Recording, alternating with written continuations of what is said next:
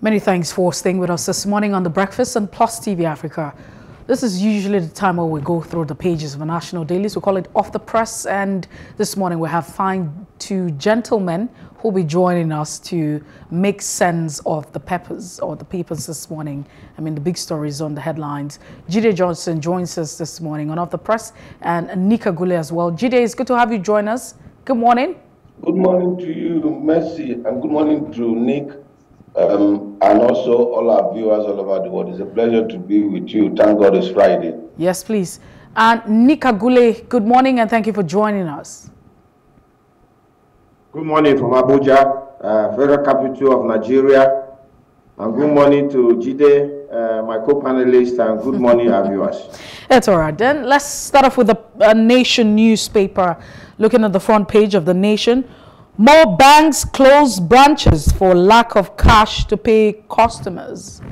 Uh, you want to ask if this is the uh, is a very rational action or decision to take. I mean, when the banks are all shut down, cash crunch bites harder. NSA scarcity affecting military operations. You also find another SAN's CBN must obey Supreme Court ruling. Varsities to close from February the 22nd. EFCC appeals contempt ruling on Bawa. Standing up for what's right, the North have spoken. These are the riders or the big stories and the headlines you find this morning on the nation. But we turn our attention to the Daily Sun newspaper.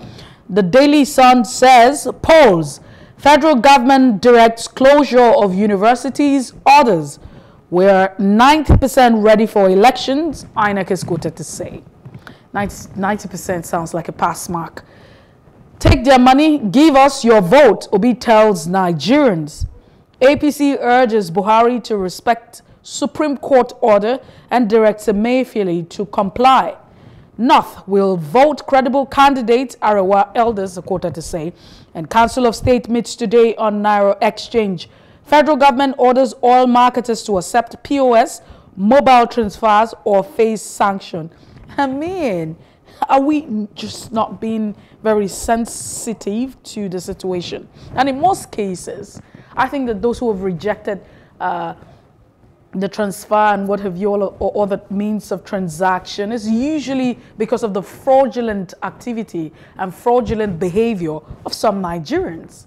So some people have gotten to a point where they fake, you know, an alert. So you do a transfer and then you find a way to just send it. I don't know how that works, but uh, that's the case. And that's why some persons have not. But in other times, uh, if you look at other times, the network has not been favorable because, I mean, you have to carry out a transaction and that doesn't happen just in space. You need a very favorable internet connection to carry out all of that. APC planning to hack INEC's server Tambuwal alleges all of these allegations should be taken seriously. Ruling party fighting for old notes to buy votes. That's what the PDP is saying. Three G5 governors absent, three of uh, the G5 governors absent uh, at the certain meeting. I think there seemed to be some sort of movement now. Well, we, we have another one saying governor, government handover you have the SGF heads transition council as Buhari signs executive order uh, 14. Soldiers feared killed, monarch beheaded as violence erupts in Delta community. Uh, we move away from the Daily Sun. The Punch is here. The Punch says, New Naira confusion deepens as CBN deadline ends today. I remember putting out that question yesterday to my guests on the show. What becomes of Nigeria? Because I mean, we, people are wondering, what do we now do? Spend the old note? Don't spend the old note when you don't have the new note. Presidency CBN silent on Supreme Court ruling. Banks customers await a Emefiele's directive. Buhari's seven-day promise expires. Nigerians queue in vain at ATMs and banking halls. Federal government will comply with Supreme Court ruling.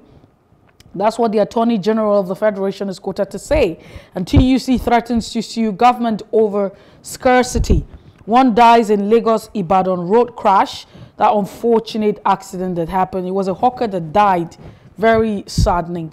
Buhari orders setting up transition panel on Valentine's Day, 14th of February. Federal government sanctions 302 broadcast stations, issues 67 new license, and government vows penalty for fuel marketers, rejecting POS transfers. Uh, would you really blame them? Not necessarily POS, but you know the USSD transfers. And uh, I think we have to move away. VCs asked to disagree as federal government shorts varsity. Oh, that's that's interesting. Council reviews training as 14,000 nurses or nurses uh, join the japa train. That's what you find.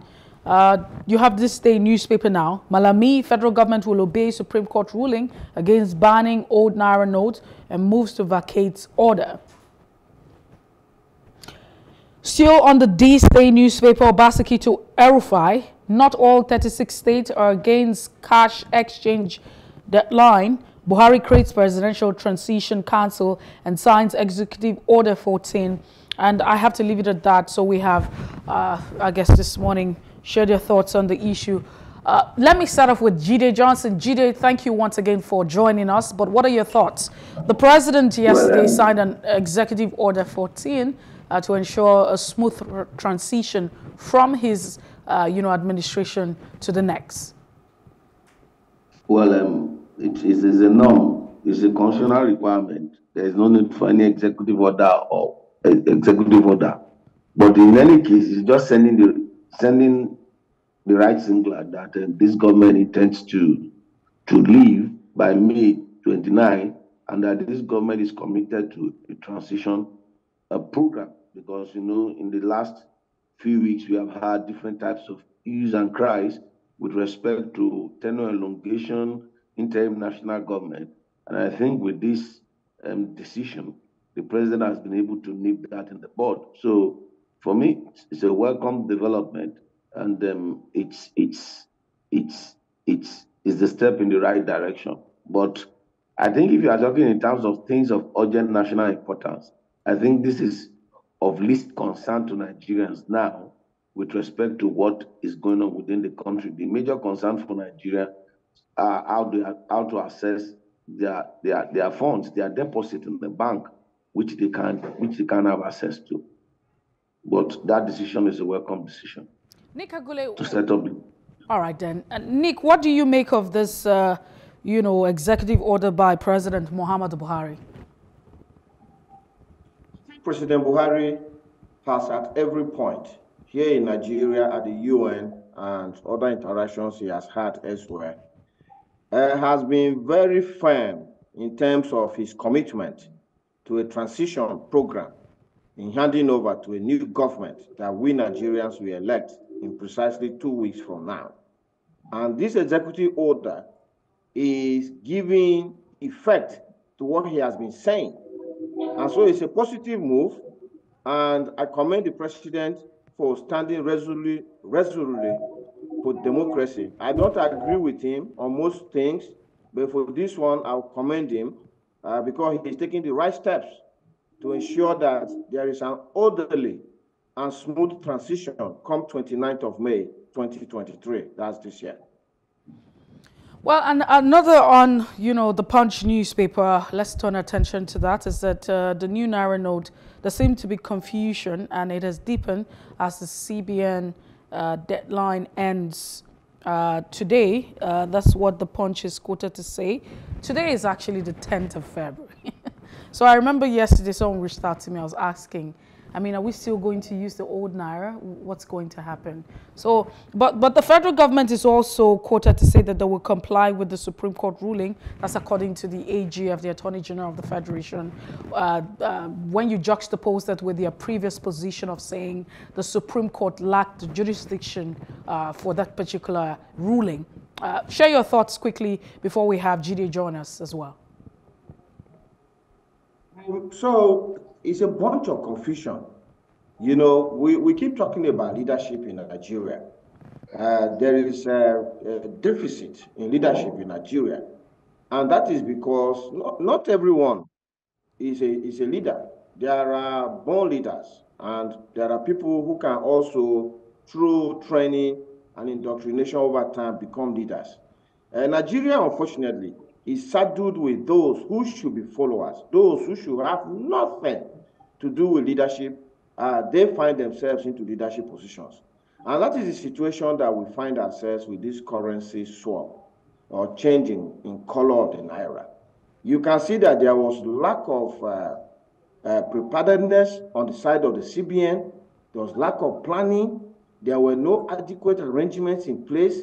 They just rushed this currency swap. It looked to me like something that somebody uh, slept, probably dreamt about it, or has some sort of brainwave and say, oh, wow, it's a good idea, let's go and do it. And then without any adequate planning and preparation, they just hoisted this pain on Nigerians. And Nigerians have had to sleep at uh, ATMs uh, to try and, and change their money. Nigerians are now having to pay up to 40% premium in terms of getting money. As in, like you want 10,000, you are being forced to pay 4,000. And this is all coming from leadership failure at the highest levels. The central bank governor is carrying on like a demigod. The president, who is his boss, is there watching him doing nothing. The other half of the economy, which is the fiscal policy led by the finance minister, uh, she came out to say that she was not even aware of what the other long, which is monetary policy uh, being run by the CBN, was doing. So as we stand now, the, the CBN state currency is going uh, currency swap will end today. Uh, a central bank ruling says it will have to continue. We don't know what's going to happen, but I let, believe that. Uh, let, us ask Jide Johnson. I mean, let's yeah. let's go to G. Uh, I beg your pardon. Yes, of course. Let's go to Jide Johnson and find out what he thinks. Uh, Jide, what what do you think would happen? Of course, the federal government is in support of uh, the compliance with the Supreme Court ruling, according to the Attorney General of the Federation. Uh, but the CBN is yet to be, uh, I mean, is yet to say is yet to say anything about this uh, ruling from uh, the Supreme Court. What exactly should Nigerians do at this point? This is not open for a debate. The Supreme Court has ruled with, by extending it by seven days. So as far the deadline given by the central bank, by the extant laws of Nigeria, does not succeed. It's what the Supreme Court has ruled, and that's um, um, on the 17th until they hear the, the, the case. So, as far as I'm concerned, every Nigerian should go about their normal business. They should still accept the old, the old, old currency. In actual sense, where can you even get the new currency? I knew how much you see, until we humanize this story, that's when we drive home the point. I knew how much I paid in the course of this week to collect old Naira notes when I couldn't access the banks because the banks' doors were shut. There were no money on the ATM.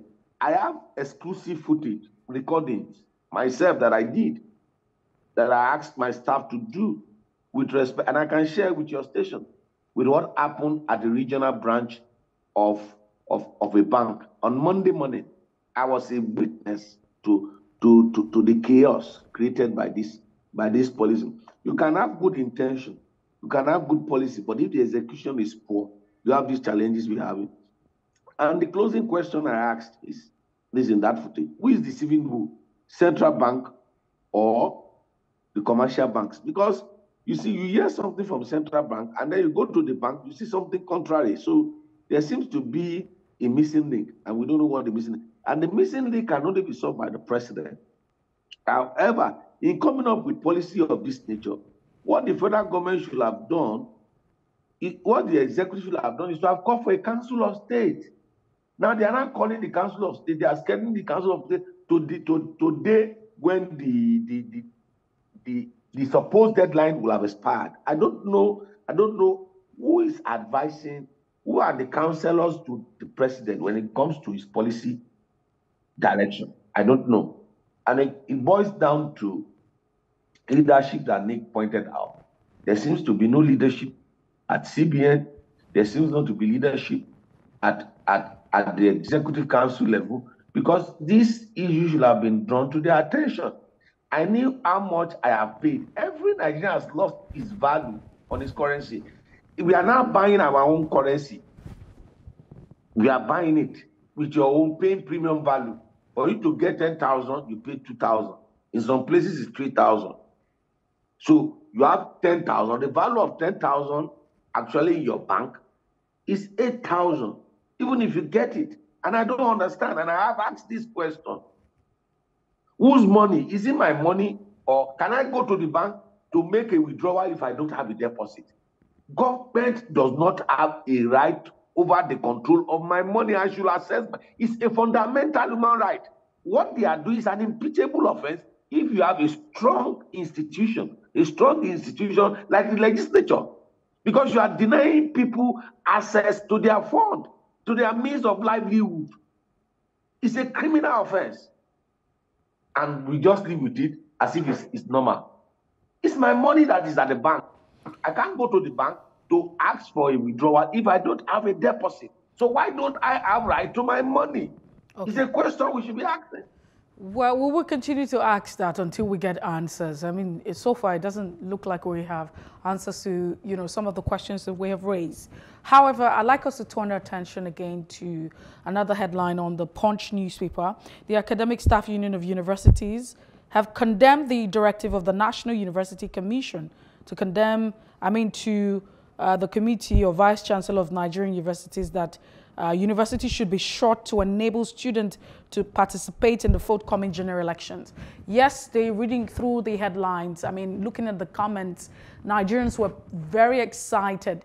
Uh, I mean, you could hardly see any comment that was uh, ill thought that uh, they were directed from the federal government to short varsities or universities for the time being for the elections. But uh, it feels like the Academic Staff Union of Universities feel differently uh, and, and, and are not very comfortable with this arrangement. I'd like you to respond to that. What do you think?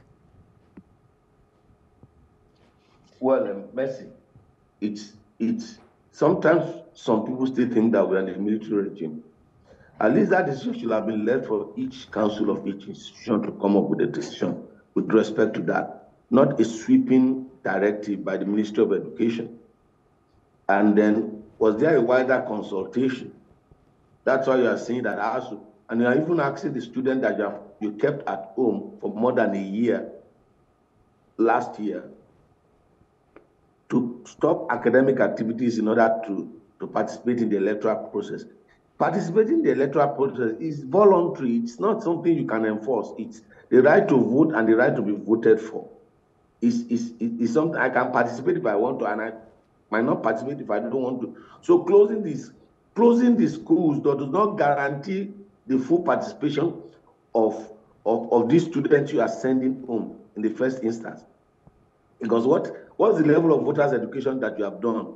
What's the level of mobilization that you have done to that effect? And how even would they be interested in voting? Where are they? These schools you are closing, where are the students going to get money to go back home?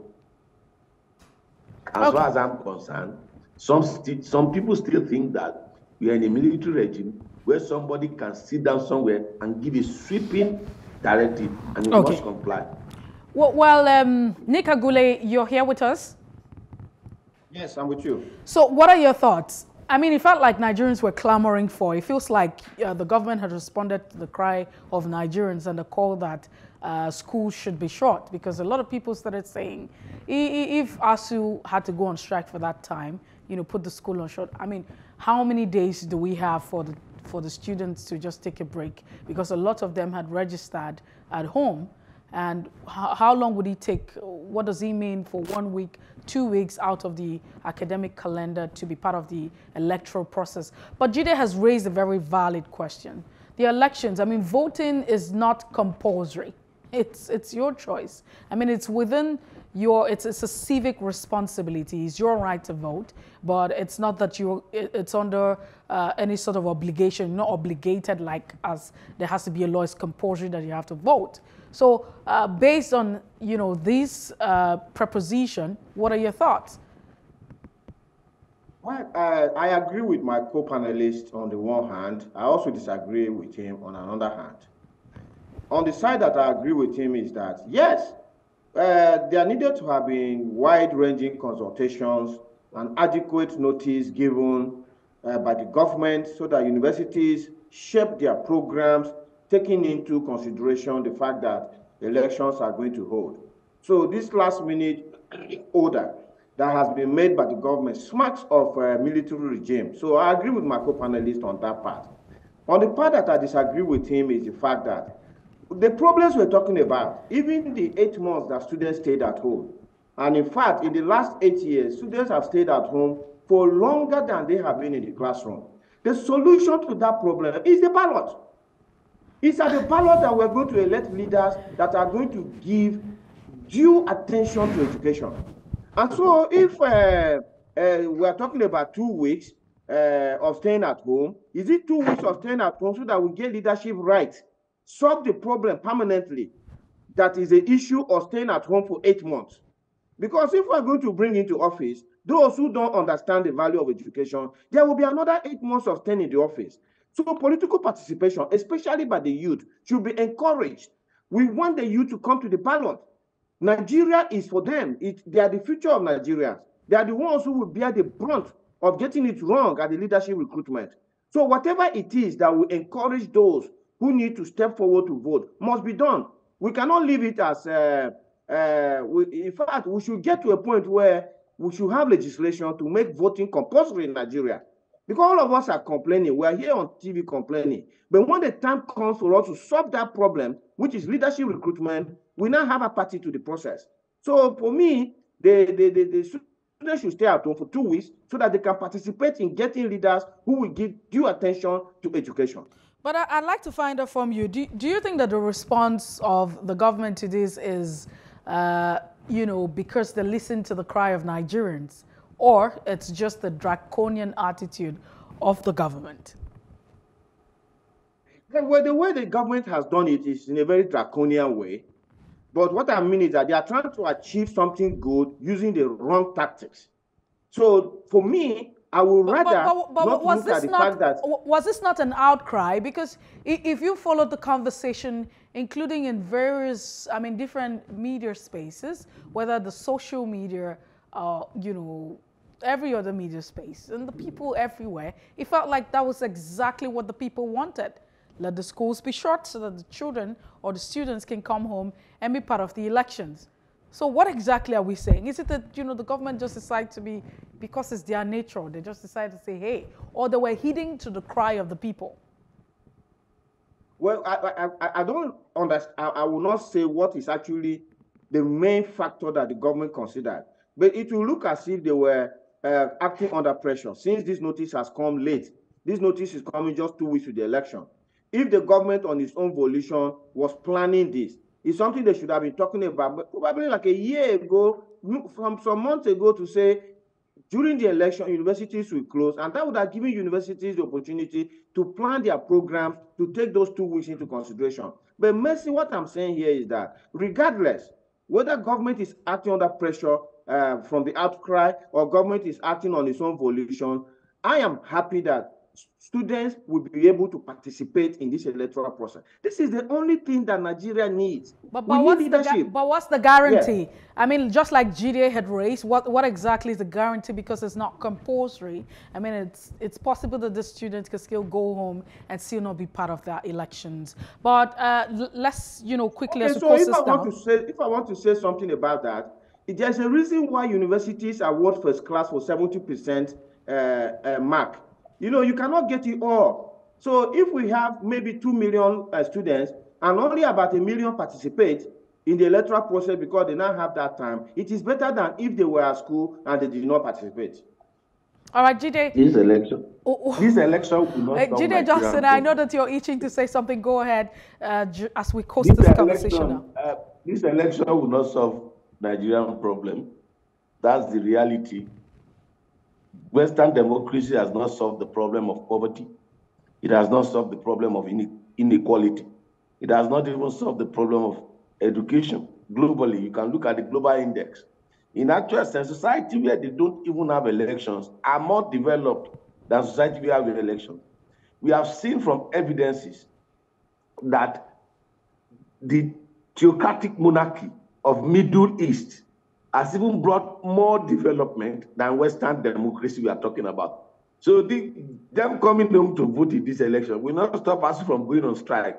In 1999, as we went on strike. 2000, 2001. 1999, we had election. as we went on strike. 2003, we had election. as we went on strike. 2007, 2011, 2015, 2019, 2023. All of them made promises towards that election that they will solve educational problem. Which problem have they solved? As far as I am concerned, it is just being uh, playing playing to the gallery when we think that election will solve problem because the same issue you spoke about in 1999 are the same issue we are talking about now. If you look at the campaigns even of developed democracy, Western democracy, it is the same issue. The homelessness problem in California, particularly in San Francisco, they have it in Dallas, in, in, in, in Texas. So that's why some of us have even argued that is there any need for us to, uh, to practice this expensive Western democracy? And you look at the amount of money we vote for the election, and we look at the kind of disruption and division that Western democracy bestow on our society, on our people, is, is a food for thought for every one of us. But to think that this the student going home to vote for this election will solve the educational problem. It's, it's I, I, don't believe so because we have not we have not seen them All right. articulated what will be their programs for education. Let anybody tell me the leading candidates what's their plan for us? What are, what's their what's their major plan for education and for us? Except that we'll be schools, we'll be schools, we do this, we do that. That's not education. Education is about looking at the needs of your society and developing your curriculum to meet those needs and creating an enabling environment that will ensure that once these students leave school, they will be gainfully employed or create employment. It is not about certification. Education is not about certification or citing schools and building infrastructure. It's beyond that. Okay. Jide, uh, we probably have to talk. About, I mean, you and I would have to talk about this, whether on air or, off air. Uh, you have mentioned Western democracy. Is it that we should be able to come up with our kind of democracy? I mean, uh, all of this are very doable, I think. we would have this conversation some other time, but thank you so much for making our time uh, out of your busy schedule to be with us this morning. We appreciate you. It's a pleasure to be with you and Nick. Thank you. Nick from Abuja. This is Billy from Lagos. if you uh, Mercy, I think I, I, would like to be part of that conversation. Well, how, whenever we're going to have that conversation, whether it's yes, on I, air, I would like to because the Western democracies he's talking about is where our youth are jackpine to.